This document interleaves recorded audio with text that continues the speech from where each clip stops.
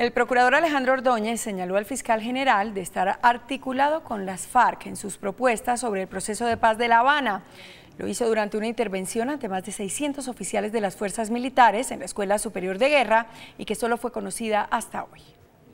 El procurador cita una fuente reservada que está en la mesa de negociaciones de La Habana y que consulta con frecuencia y advierte que el fiscal Eduardo Montalegre está diciendo en sus propuestas sobre la paz lo que las FARC no pueden decir por el momento.